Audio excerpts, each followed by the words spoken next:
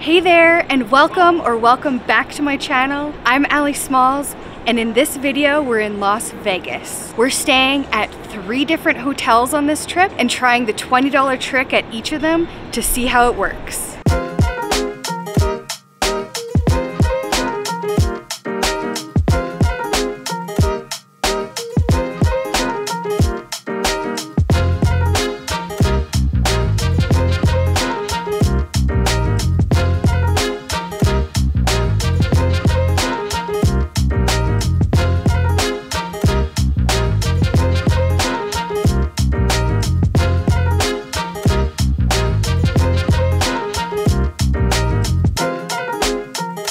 All right, so if you don't know about the $20 trick in Las Vegas, what happens is when you check into your hotel, you give the person at the front desk your ID and your credit card along with a $20 bill or more if you want, and just simply ask, is there any chance for an upgrade or are there any complimentary upgrades available? Something along those lines. Then at that point, they usually try and see what they can do to maybe get you in a nicer room or a room on a higher floor or a room with a better bed setup or something like that. Now, a lot of people are worried, what if I give the $20 and they actually don't have an upgrade for me and then I'm out $20? So that's what we're trying in this video. We're staying at three different hotels to see how well this $20 trick actually works here in Las Vegas. The first hotel we're trying this at is at the El Cortez downtown Las Vegas.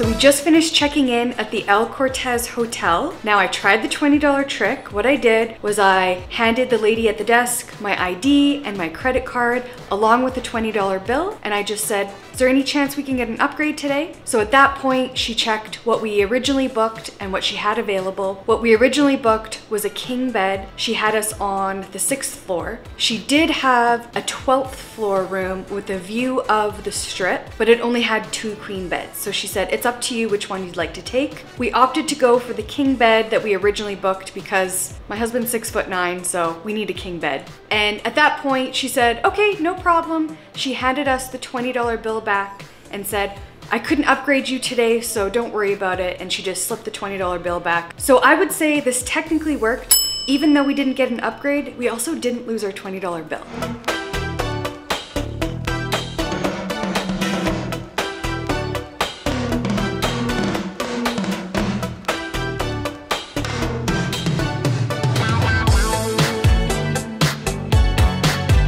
We've arrived at the Sahara. Let's go check in, see how it goes.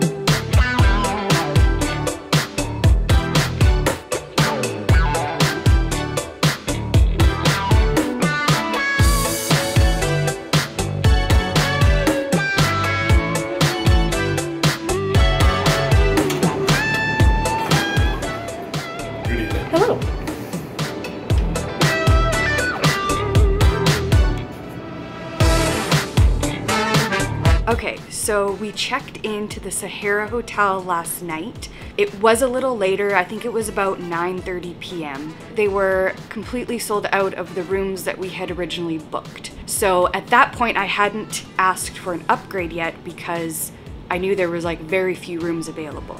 The gentleman who checked us in was very nice. He was looking to see what he could do for us, but all he had was these two queens. That's when I put a $20 bill on the counter and I said, So is there anything else you can do for us today? He said, Let me see what I can do. So he put a $60 credit on our room to be used at any of the restaurants or bars in the hotel. And he gave us two drink tickets worth $16 for a drink at any bar.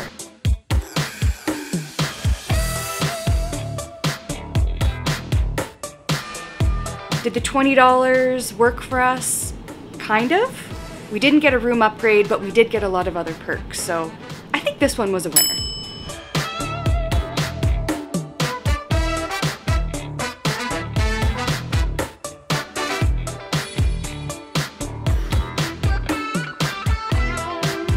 Okay, so we just checked into our room at Ellis Island. I tried the $20 trick again.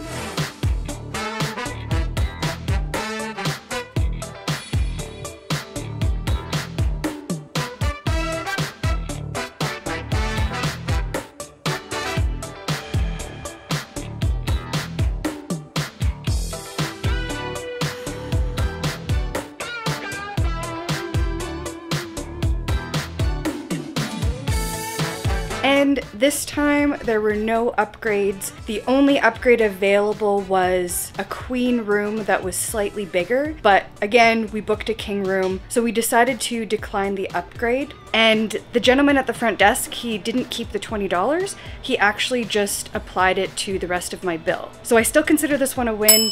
We didn't get the upgrade, but I didn't lose the $20. Well, there we have it. We tried the $20 trick at three different hotels in Las Vegas, and I would say it worked every time. There were upgrades available if we wanted them, and when we didn't want the upgrade, we got our money back. So, I think it worked.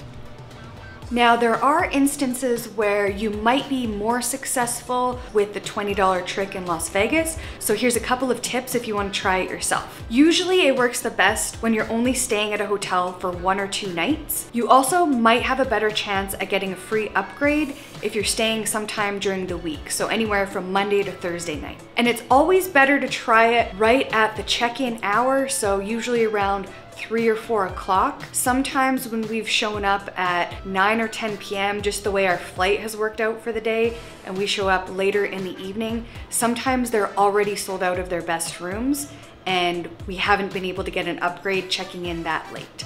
So usually it's better to do it if you can check in right at that three, four o'clock hour.